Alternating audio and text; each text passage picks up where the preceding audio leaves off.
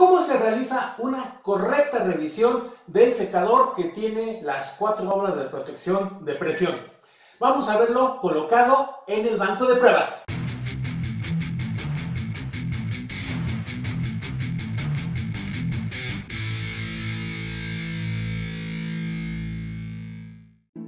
Ya tenemos conectado el secador al banco de pruebas. Vamos a ponerle presión.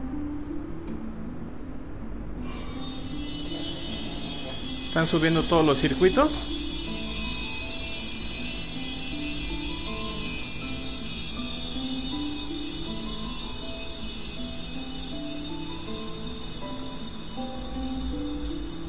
Y vamos a dejar que cargue hasta el corte.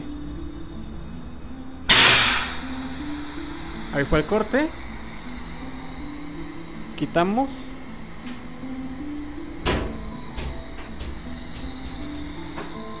Este tanque de purga es más grande y está acabando de vaciarlo con lo que se escucha ahorita. Pero se mantiene la señal del gobernador.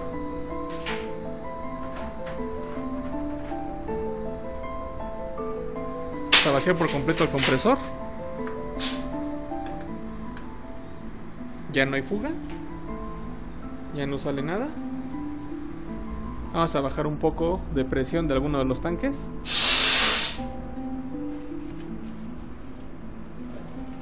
Desaparece la señal del gobernador.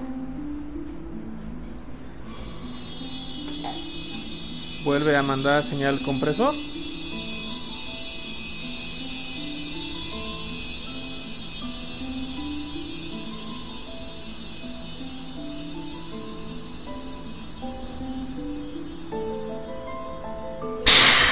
Corte nuevamente.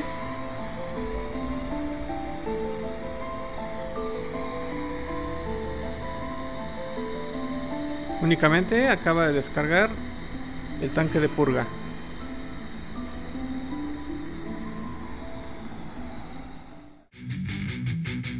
Muchas gracias por ver este video. Esperamos que haya sido de utilidad.